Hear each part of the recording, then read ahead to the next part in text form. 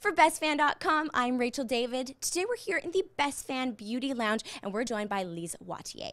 What they're going to do today is showcase to us their number one selling product. It's called the Portfolio Concealer, and this is what's going to make your skin flawless.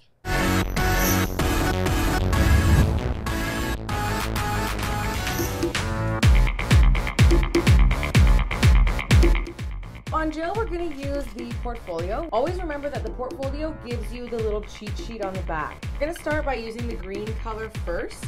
Um, the green is designed to counteract redness. So for most people, they have a little bit of redness on the cheek here, a little bit of red around the nose is always a good start. Anywhere that you get red, you want to apply that green.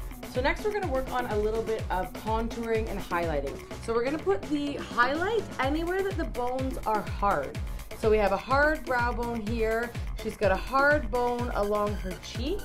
So we're gonna put the highlighter there to make them pop, to make them come out. Okay, so to counteract the highlight, we're going to go with what we call the shade or the contour. So when we shade, we wanna shade where it's soft. Next we have the shade that's very yellow. Um, this one is ideal for underneath of the eye.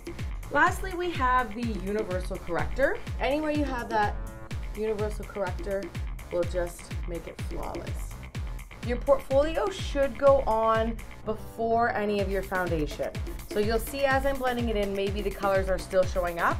Once we put a foundation on top of that, you're not going to see anything but a nice sculpted, even flawless complexion. A little bit of portfolio, a small amount of mineral powder on top, and she's good to go.